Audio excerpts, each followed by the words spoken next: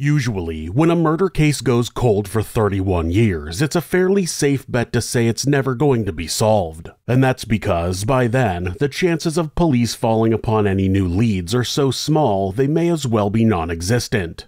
Thankfully, though, this isn't the reality in all situations. No, when it came to Jay Cook and Tanya Van Cuylenborg, their killer would actually be caught decades after the fact. And what makes this one especially interesting is that it all happened as a result of a 23andMe style genealogy report. This is Monsters.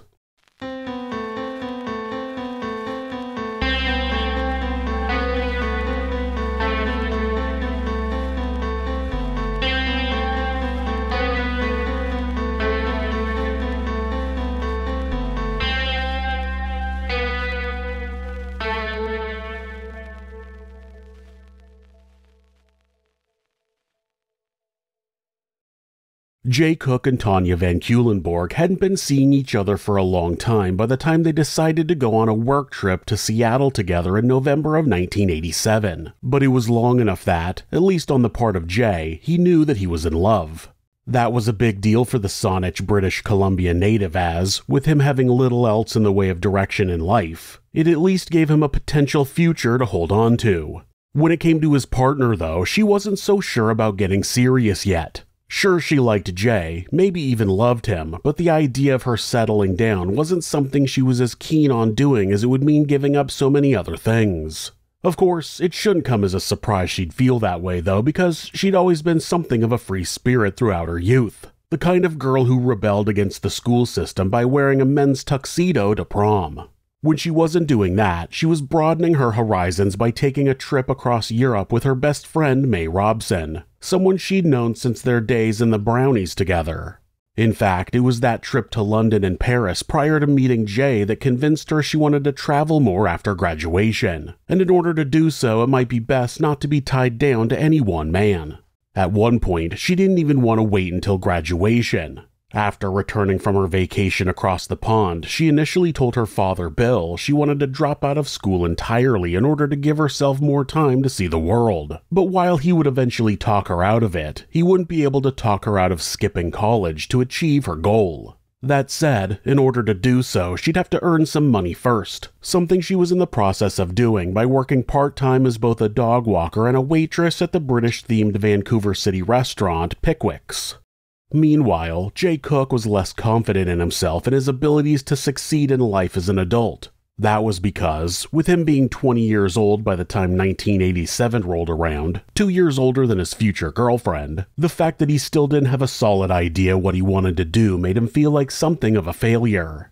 Sure, it's pretty common for 20 year olds to still be figuring themselves out, in fact, it's pretty common for 30 year olds to be doing the same thing as well. But when someone is in that moment and they feel like time is passing them by, it's easy for them not to realize how much time they still have ahead and instead get bogged down with the present. But it wasn't like Jay was doing nothing. No, he and his two sisters had a strong work ethic installed in them from a young age by their father, Gordon. That was partially what led all three to start helping out with their father's business, Cook and Talbot Limited Heating Specialists, a small family run company that installed furnaces. It wasn't what the young man wanted to be doing with his entire life going forward. In fact, recently he'd been considering pursuing a career in marine biology instead, but at least it was something to keep him occupied for the time being and when he met Tanya through a mutual friend in July of that year, it made him feel less like someone who was wasting his time. Of course, it wasn't his job that attracted Tanya to Jay, though. It was his caring, responsible manner and his willingness to put himself out there for people.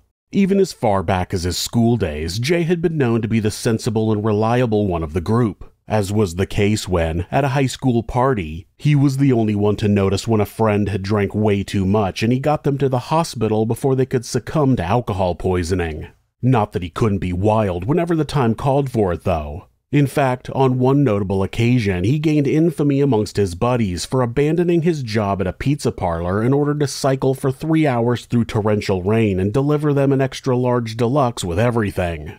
Had they asked for that? No, but he brought it along anyway, as it gave him the excuse he felt he needed to join the party they were taking part in.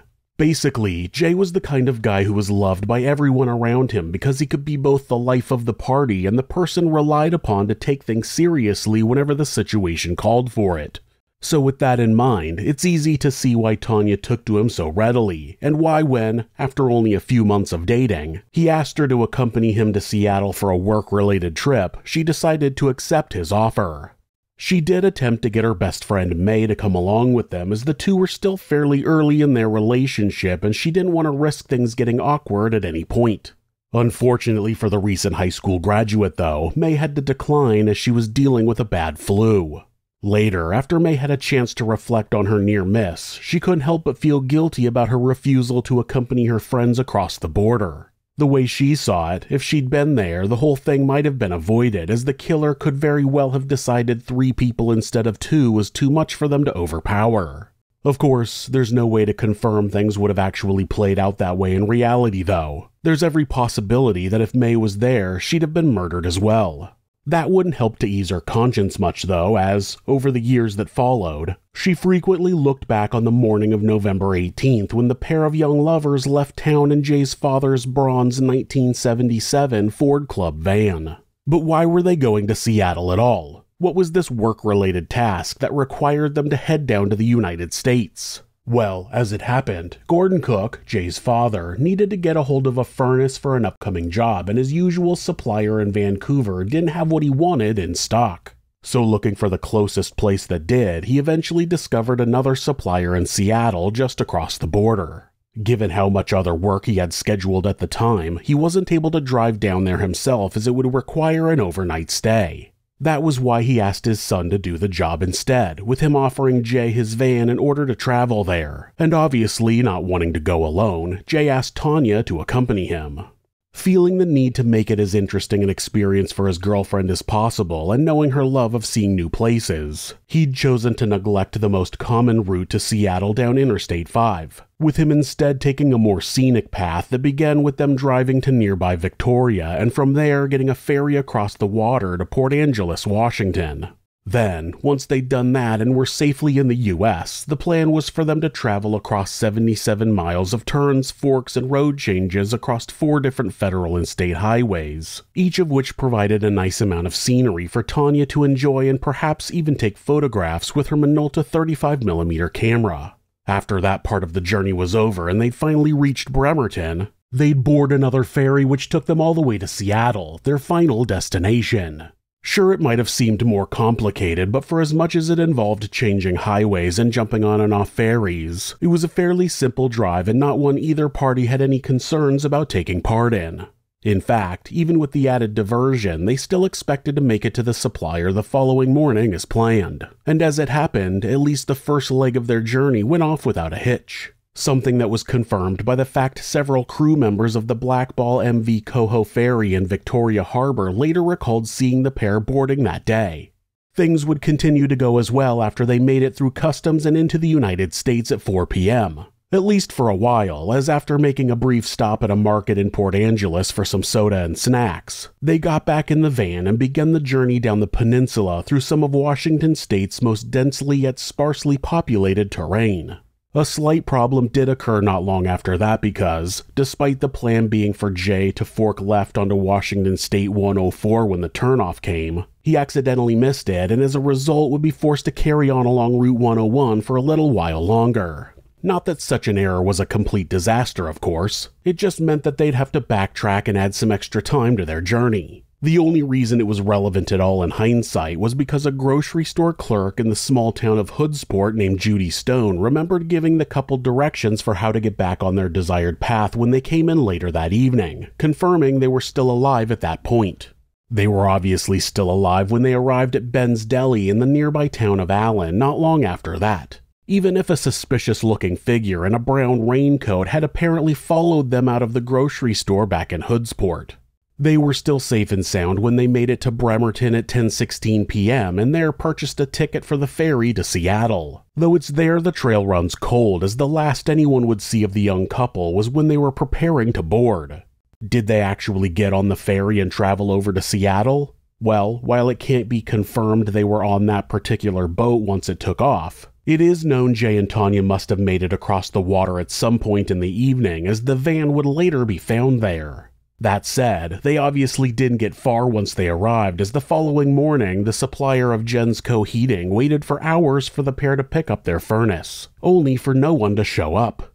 What was even more concerning was that, as the day went on, neither of them attempted to contact their families and explain what the delay was, something that was particularly strange in the case of Tanya. She was very close with her parents and was known to keep in touch with them no matter what.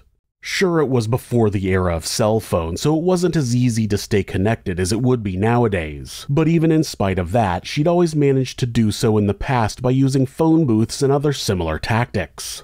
So, when the time for them to return home came and went and they were nowhere to be seen, panic set in for the Van Cuylenborgs first. That was what led them to get in touch with the Cooks, a family they hadn't actually met in person before then. Unfortunately, though, the Cooks hadn't heard anything from their son either, and by now they were starting to grow concerned too. It was starting to look like something may have happened to the young couple down in Washington state, which at best had delayed them and at worst led to them being incapacitated. So, not wanting to waste any more time, the Van Cuylenborgs went to the local Saanich Police Department the following morning on November 20th and reported both their daughter and Jay Cook as missing. Sadly, though, that wouldn't lead to a full scale investigation being opened because, according to authorities at the time, no missing persons report could formally be filed for three days as there was no evidence that foul play had been involved in their disappearance. As far as the police were concerned, there was every chance the couple had chosen not to return home of their own free will, though what their reasons for doing so would be were unclear. I will continue to say this every time it comes up in an episode, but there are no laws that require any amount of time needs to pass before a missing person's case can be opened. It's actually better to do it sooner as the chance of finding a legitimately missing person alive after 24 hours reduces greatly. Authorities telling family members to wait could very well be a death sentence to the missing person. The family had to wonder if Jay and Tanya had run off and gotten married. Had they decided to go on a spontaneous trip around America in order to temporarily satiate Tanya's wanderlust? It seemed unlikely, given they'd gone to America with a specific job to do, but in the eyes of the law, that was just as viable as having met an untimely end. At least it was up until three days had passed anyway.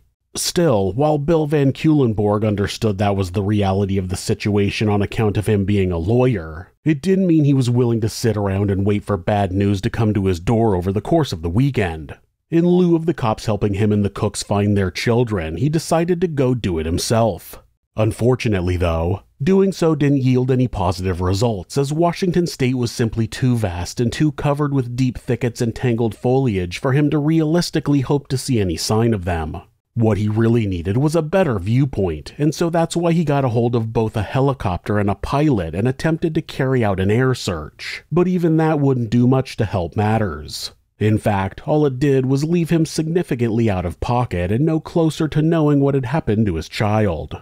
Honestly, the truth of the matter is Washington state is just too near perfect of a place for someone to go missing and never be found again, just as it was a perfect place for a killer to then disappear themselves.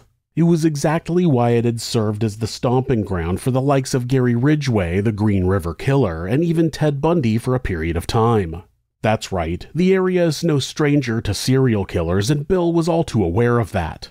So, as he headed into Seattle and began putting up missing persons posters everywhere he could, he couldn't help but wonder if it was all in vain and some terrible fate had already befallen his daughter, though he did try his best to push that thought to the back of his mind whenever it arose. His attempts to maintain a positive mental attitude wouldn't matter for long though, because just a few days later on November 24th, a body was found on an embankment just off Parson Creek Road, a lonely stretch of space located in Skagit County just south of Bellingham. The body had been discovered by Vic Wald, a local man who enjoyed going on morning walks throughout the area, all while collecting both aluminum and plastic drink containers that he then recycled in order to make a bit of extra cash. Of course, once he discovered the corpse of a young girl that morning, he immediately abandoned his normal routine and contacted the Skagit County Sheriff's Office, leading detectives David Willard and Jim Moorer to show up on the scene soon after. Once they did, they quickly got to work trying to figure out what had happened. Had this been a case of someone slipping and falling down the embankment, or had something far more sinister happened? Sadly, the answer to that would soon be shown as, upon closer inspection of the body, it became apparent she was naked from the waist down, bound by the arms with zip ties, and that there was evidence in the form of both scratch marks and semen stains to suggest she'd been sexually assaulted. On top of that, her actual cause of death appeared to have been a gunshot wound to the back of the head, execution style. The amount of blood at the scene suggested she hadn't been killed there and had instead been moved to the location post mortem. Eventually, Bill was called in to identify the body of his daughter. Once a positive ID was made, the police got to work pulling any files they had on known rapists and killers in the area, all in the hopes it would lead them towards a suspect. Meanwhile, a bartender at Essie's Tavern in Bellingham was out back taking a smoke break when he noticed a wallet and a set of keys lying on the ground. After investigating and seeing that the wallet belonged to a Tanya Van Cuylenborg, he initially decided to place it behind the bar as lost property. Of course, once news of Tanya's death started to spread around, he quickly realized what he had was more than just a simple missing item. So he contacted the police and told them about his discovery, causing them to come over to the bar and do a further search of the area where they quickly found zip ties that matched the ones used on Tanya. That wasn't all they found there, though. While leaving the scene, one of the investigators also noticed a van that matched the description given by Bill Van Cuylenborg of the one Jay had been driving. So the team immediately went over to check it out, and when they did, they discovered the inside had been trashed and that it was covered in blood which belonged to both Tanya and Jay. While that may have at first seemed like a terrible piece of news, it was actually in some way a relief for Jay's family, as prior to that he'd been considered a prime suspect in the murder of his girlfriend given he was still nowhere to be found, and considering the fact that according to statistics at the time, 55% of female murder victims died at the hands of a romantic partner, there was every reason to believe he'd been the perpetrator. Now that so much of his blood had been discovered in his van, though, it quickly became apparent he was another victim himself. So that left the key questions. Where was he? Was he still alive? And who had killed Tanya? As it happened, the last of those questions would be particularly difficult to answer as, despite the DNA of a third person being found in the van, it wasn't as simple as just using it to find the killer back in 1987. At that point in time, there was no national database to draw from, so if you wanted to match someone's DNA with a sample you'd found, you first had to come up with a suspect. To make matters even more difficult, that was also a time before cell phone tower records, facial recognition software, or even social media was available, meaning tracking down anyone was that much harder to do. But what of the first two questions? Where was Jay, and more importantly, was he still alive? Well, the answer to both of those would come on November 26th when a man named Scott Walker discovered a body while out on a hunting trip with friends in Snohomish County, just 50 miles from where Tanya had been discovered. If Tanya's death had been gruesome, Jay's was arguably even worse as both dog collars and twine were wrapped around his neck. Tissues and a pack of cigarettes were found shoved down his throat, suggesting he died of asphyxiation. On top of that, severe head wounds and bloodstains all over his clothes made it look like he'd been beaten badly, possibly even tortured, and that it may have even been a personal attack. As to when his murder had come in relation to his girlfriend's, given the pair's van was found closer to her body than his, it would be argued that Jay was probably killed first, with the likelihood being the culprit had done so to get him out of the picture, leaving him free to assault Tanya without anyone standing in his way. Of course, that still left the ultimate question who was the mystery killer? And unfortunately for the investigators at the time, any attempts to figure that out would prove to be fruitless. Even when anonymous letters were sent to both the Cook and Van Cuylenborg families a month later, letters that purported to be from the killer themselves, the police were unable to use them to track down any solid suspects. The reality was, given the technology that was available to them at the time, solving the murders of Jay and Tanya was just too difficult for the authorities in Skagit and Snohomish County. That was what led to the case going cold soon after, a classification which it would maintain for the next 31 years. Not that there weren't further attempts to find a suspect during that three decade long period. In fact, at one point in 1989, an episode of Unsolved Mysteries aired that detailed the crime. In August of 2010, it briefly looked as though a breakthrough had finally been reached when, following a Canadian news story on the topic, an anonymous tip was sent to the police claiming they knew who'd written the gloating letters to the family. Sadly, though, that proved to be a dead end as the perpetrator behind those letters turned out to be nothing more than a homeless man from the Pacific Northwest who was looking to gain a bit of infamy. The way he was ruled out as a suspect ended up representing a big step forward in the case as it was through DNA testing it was determined that he had nothing to do with the crime.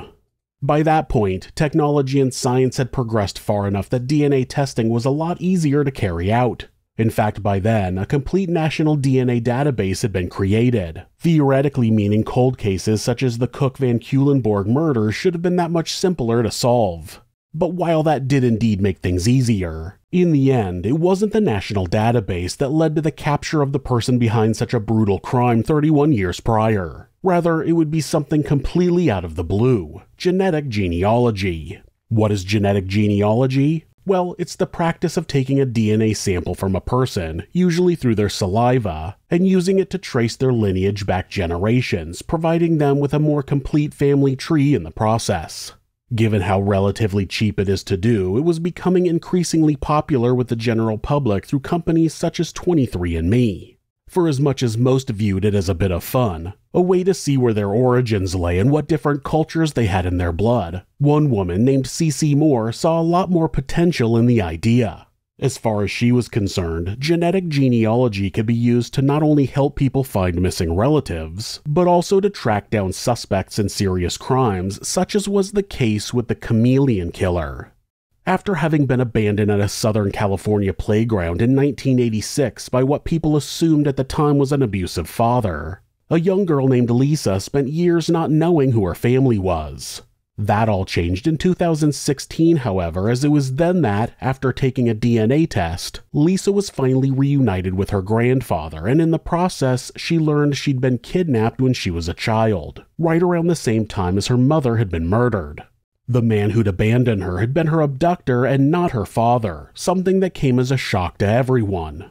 After further investigation, it was determined that man was more than likely the chameleon killer, someone who died while behind bars six years prior. That case was something that greatly interested Jim Scharf, detective in the Snohomish County Cold Case Unit, as, by that point, nestled amongst the many cases he was dealing with, lay the still unsolved murders of Jay Cook and Tanya Van Cuylenborg. The detective decided to contact Parabon Nanolabs, a nearby company that dealt with cutting edge DNA technology. The team there weren't allowed to use crime scene DNA to create a full genetic breakdown of the killer, but they were able to use a technology called Snapshot. What it could do was create a loose approximation of what the killer may have looked like based on a sample of their DNA. Sadly, though, despite the breakthrough, Detective Scharf still wasn't able to identify a solid suspect, so, unsure of what else to do, he decided to go public with the case by holding a press conference on April 11, 2018. He hoped the press conference would lead to further public tips coming in. While a full 130 tips were received as a result, most went nowhere. In fact, the only one that did hold any promise came from a bartender in Bellingham who claimed to have seen a similar looking man back in his bar in November of 1987. That was interesting because it was around the same time and location as the murders had occurred. And that wasn't the only breakthrough in the case that was about to occur either, because elsewhere, CeCe Moore, the same woman who had helped to pin an additional murder and kidnapping charge on the chameleon killer post mortem, had become aware of the situation and wanted to help. CeCe used GEDmatch, a public genealogy database intended to help people trace back their family trees. The very same database that had recently been used to find the Golden State Killer and bring him to justice. Now, it should be noted that there had been plenty of ethical concerns raised about the usage of such a database in solving the Golden State Killer case at the time, with many of the people who spoke up having valid points about whether or not private information was being used as the system had never been set up for such a purpose. GEDmatched were even forced to address that in a public statement they made over the days that followed the killer's capture. But ultimately, as long as they agreed to inform their customers going forward that their DNA might be used in police investigations, and then give them the opportunity to opt out if they wished, it was all deemed to be legal. With that settled, and with the ethics of using GEDmatch now a bit less fuzzy, Cece was able to get to work using the technology to try and create a family tree of the mystery person who had evaded police for over three decades based on their DNA sample. A family tree that she hoped would help her narrow down their true identity. Pretty soon, she had identified two people who appeared to be relatives of the killer, with them likely being on the level of second cousins. And because they had different surnames, Talbot and Rustad, it meant if the point these two families merged could be figured out, it would give the investigation a direct genetic path to follow.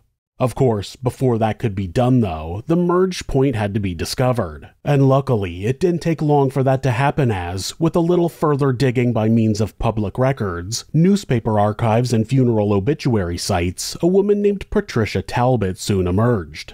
If you remember, Jay's father's business was Cook and Talbot Limited heating specialists, and the last name Talbot is only a coincidence.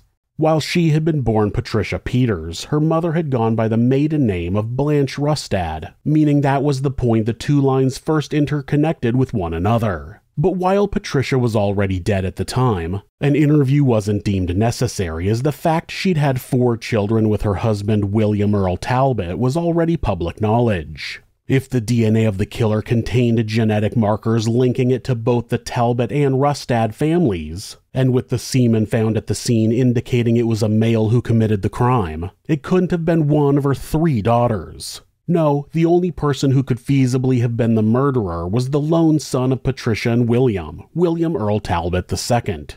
Armed with that knowledge, Cece sent the information to Detective Scharf to tell him that the killer had finally been identified after all of these years, and that he lived in Woodinville, Washington, just up the road from where Jay's body had been discovered. At least they were 99.9% sure the killer had been identified. To be 100% sure, a sample of William's DNA would have to be taken and matched to the DNA collected from the crime scene. That meant the next step was to get a sample of the suspect's DNA, something that proved to be easier said than done.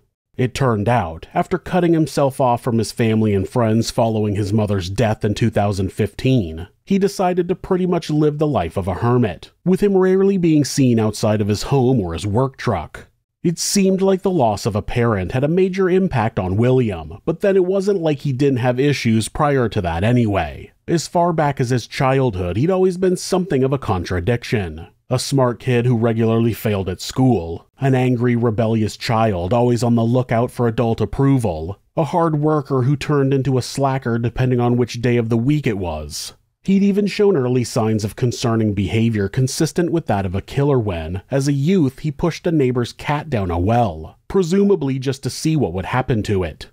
A few years after that, he also started developing an unhealthy sexual appetite when he at one point forced his younger sister down on her bed and began touching her in a way which made her feel very uncomfortable. While his mother would always brush incidents like that off as Bill being Bill, his father was not so quick to understand. In fact, at one point, not long after his son threatened to run him over with a car once he was old enough to drive, William Sr. threw Jr. out of the house, with that leading to him spending the latter part of his teenage years living in a trailer behind his family home.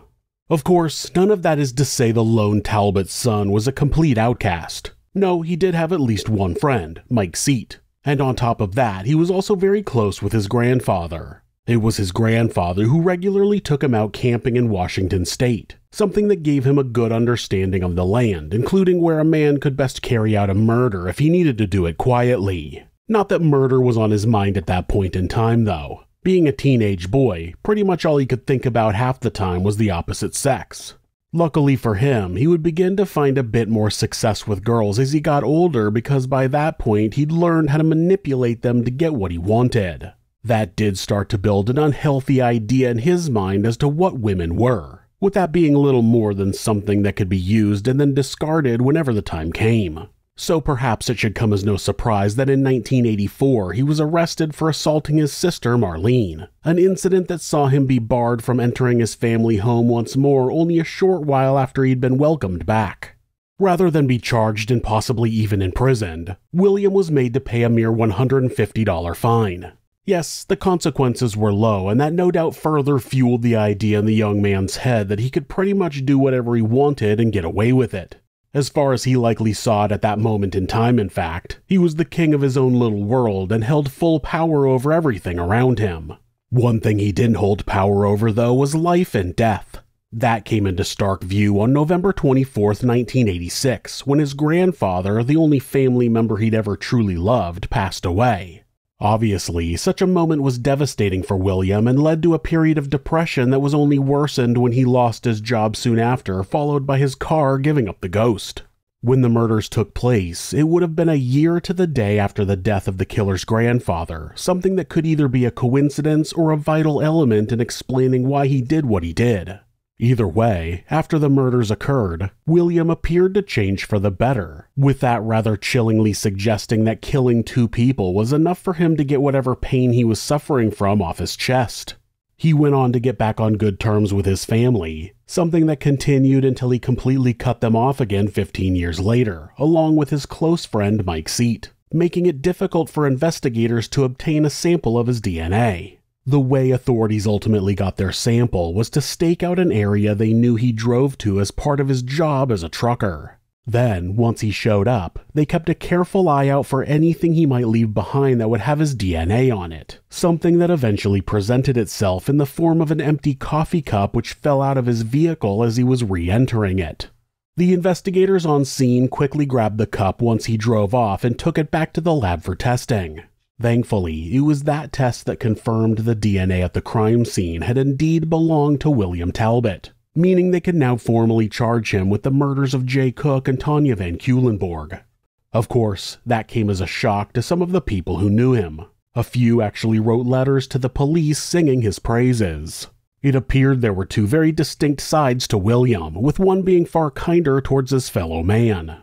As the trial date loomed, Detective Scharf grew more and more concerned that it would influence the jury and make it harder to score a conviction. That wasn't the only reason he was concerned about the upcoming court case, though, as by that point there were growing concerns about the validity of using genealogy tests at all when it came to solving crimes, especially as a prior case, that of Sarah Yarborough in 2012, ended up coming up with a false positive and identifying the wrong person initially. So, as a result of that, it was argued by some that the use of such tests in criminal cases couldn't always be trusted because they were not designed for such a purpose. Their usage may very well still constitute a breach of personal privacy, even if disclaimers had been given to the customers. Realizing they had to have an airtight case if they wanted to win once the day came for trial, the prosecutor decided to focus on four key points when it came to building their argument that William was guilty with those points being the DNA evidence picked up at the crime scene, the genetic genealogy reports, a handprint that was found on the door handle of Jay's van which matched the defendant's, and interviews with a number of people who knew him. Of those interviews, none were more damning than the one given by Mike Seat, William's childhood friend, as he recalled seeing Jay's van parked outside the Talbott family home in the days following the murder, suggesting his buddy was most definitely involved in what took place. But while that appeared to confirm he'd indeed been in contact with the murdered couple, William's lawyers argued that still didn't prove he was the killer. In fact, even his semen, which was found on the scene, didn't confirm he had anything to do with the murders as far as they were concerned. The defense was claiming that the sex between William and Tanya had been consensual, and that explained why his handprint was on the door handle, too. What it didn't say with any degree of certainty, though, was that he had murdered them. There was quite simply nothing that could outright prove that, and if there was any reasonable doubt, then it meant he must be acquitted. In one fell swoop, it looked as if the defense had actually managed to sway the jury enough to win the case. Luckily, though, the prosecution had one final ace up their sleeve, and that was to ask the question why wasn't Tanya wearing underwear when she died? If the sex had indeed been consensual, they argued, then surely she would have gotten dressed again before she died a few days later, as the defense were now suggesting. After all, it wasn't exactly warm out in the wilderness of Washington state at that time of year. So, if she was naked from the waist down, it proved she died pretty quickly after intercourse took place. And given there was no other person who could have reasonably been around at the time to carry out such an act, William Talbott had to have been the perpetrator. In the end, that was enough to convince the jury to deliver a guilty verdict, finally putting the decades long cold case of the Cook Van Cuylenborg murders to rest as the killer was given life in prison without the possibility of parole. Or so it seemed anyway, because in one final twist on December 6, 2021, William Earl Talbott's conviction was actually overturned when his team were able to successfully argue one of the jurors had been biased against him on account of them having experienced domestic abuse in the past. Thankfully, however, that wouldn't be the end of the story, as a year later in December of 2022, the conviction was reinstated after it was pointed out the defense team had the opportunity to dismiss the juror in question if they had any concerns about her ability to be nonpartisan. As they hadn't done that, there were no legal grounds for William to get a new trial, meaning as it stands today, he remains behind bars. While this has provided some much needed closure for both the Cook and Van Cuylenborg families, and it's taken a dangerous man off the streets for good, perhaps just as important is that the trial itself was able to set a legal precedent. One which meant going forward, genetic genealogy was now going to be a new tool police had in their arsenal. And because of that, a lot of monsters who probably would have never gotten caught for their crimes before are now going to have their day of reckoning. Something you're going to hear a lot more about during this season.